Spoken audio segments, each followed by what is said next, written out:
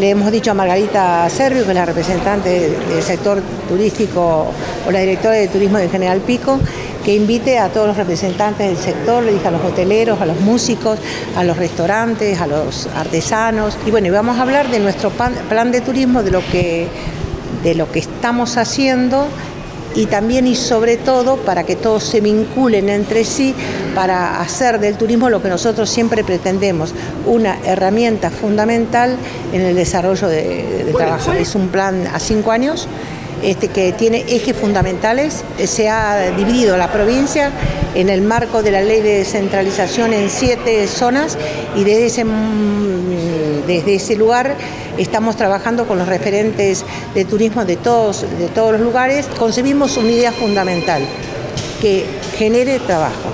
¿eh? Eso es lo fundamental, ¿no? que, y que también eh, sea eh, sustentable en el tiempo. Es decir, que desarrolles un, producto que lo, puedas evaluar y desarrollar. Nosotros en La Pampa ya hemos desarrollado el primer, el primer este producto que es el turismo astronómico, que ahora estamos tratando de acompañarlo para ver el desarrollo.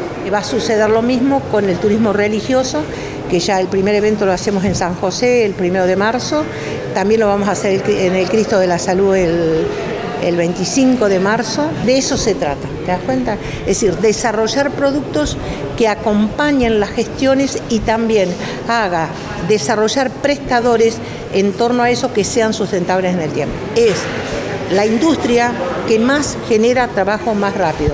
Nosotros estamos este, trabajando, por ejemplo, en el circuito de, por decirte, en el circuito de, de hasta Utracán, con el turismo aventura.